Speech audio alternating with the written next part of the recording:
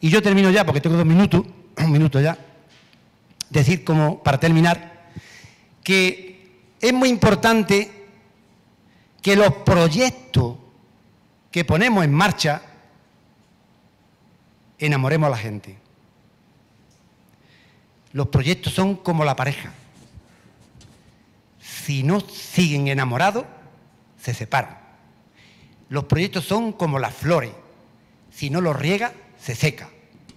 Y los proyectos tienen que apartarse de los egos personales.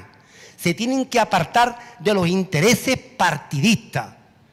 Los proyectos tienen que penetrar en el corazón del pueblo, de la gente.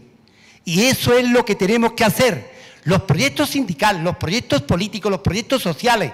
Y es muy importante porque muchas veces, la mayoría de las veces, eternamente de veces, la izquierda siempre estamos igual, desde hace muchísimos años, siempre igual, con los egos personales, con los problemas, con mi partido, con mi posición, con lo que dijo aquel, con lo que dijo el otro, y yo creo que tenemos que tener un discurso que aglutine a toda la gente de bien, de corazón, a toda la gente de bien de corazón.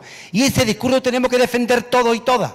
Porque si no, mientras que nosotros defendemos nuestras ideas cada uno por separado, cada uno creyendo que defendemos lo más correcto, ellos le une el dinero, ellos le une del poder, ellos le une la corrupción, ellos le une Panamá, ellos le unen los países árabes, ellos le unen la monarquía y a nosotros nos tiene que unir el corazón, el alma, la gente, la unidad, la fuerza. Eso es lo que tiene que haber.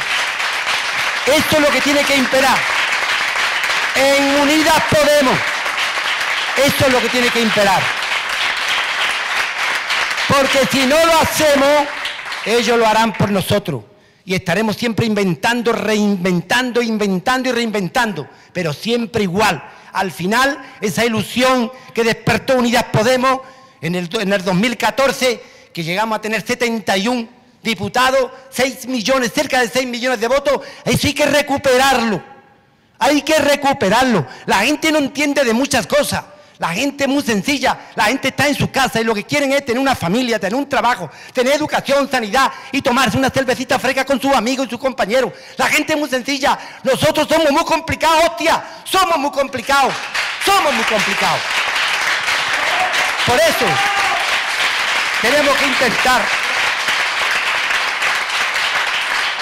Por eso yo animo a que sigamos en el mismo camino en el mismo camino de unidad, de coherencia y de buscar ese espacio y ese espacio que aglutine a todo el mundo, a todos los sectores, a todos los trabajadores, a toda la gente de buena, de buena fe, como dicen los cristianos, para conquistar el mundo ese que estamos soñando, el mundo que planteaba con el tema del mar menor, o el mundo que planteaba Cándido, que lo conozco hace mucho tiempo y siempre está en la misma, en la misma pelea, en la misma batalla, igual que mucha gente de aquí que no os conozco, pero seguramente está ahí en la batalla, en los barrios, en los sitios culturales, en el deporte, en todo sitio, unamos todas esas cosas, unamos todas esas cosas, ellos no son nadie ellos un 10%, nosotros somos el 90%, ellos son un 10%. Hagamos estas cosas entre todos. Mucho ánimo a todos y a vencer, a vencer siempre.